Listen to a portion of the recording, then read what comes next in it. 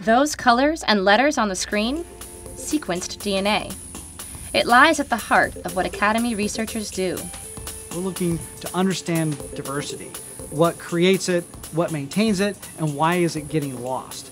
So most of the studies here are looking for comparative analyses of different species and trying to understand what causes diversity or what controls it and maintains it.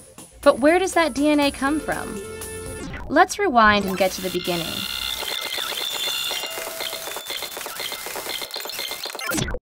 The whole process starts with, of course, being in the field, collecting the organisms, and then bringing them back here to the Cal Academy either as a tissue or a whole specimen. Academy researchers travel all over the world to understand life and its diversity. Take Jens Vindum. For the last dozen years, we've been working in Burma, a country also known as Myanmar. Jens researches the reptiles and amphibians that live there and collects tissue samples along the way. Tissue samples come from organisms, plants, animals, fungi, lichens, whatever. It can be a leaf, it can be a stem, it can be a toe clipping or a tail clipping or a feather even. So a whole variety of things.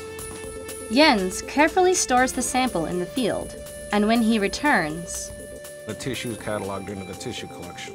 In 1988, we started collecting tissues, and we have a collection of about 28,000 tissues now. Like the Academy's specimen collections, the tissues are stored very carefully. Unlike the specimens, tissue samples have to be cold, very cold. We used to have the tissues in electric freezers, and they're at minus 86 degrees. And at that temperature, the enzymes still can work. That's okay for short-term storage, but if you're thinking of really long-term storage, it has to be colder.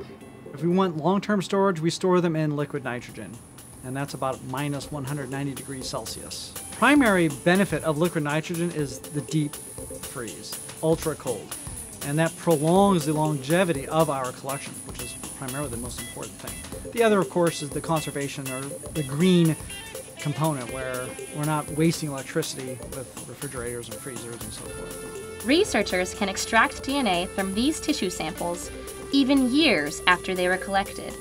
Our primary role as a research museum is to offer other researchers throughout the world uh, a historical snapshot through time, and they access our collections and our material to do their research. So one of the things that everybody's doing these days is genetic work, and the only way to get genetic data is from fresh tissues. Somebody needs a tissue, and they can look it up on our database, see that we have some, then we send it off to them, and they use it.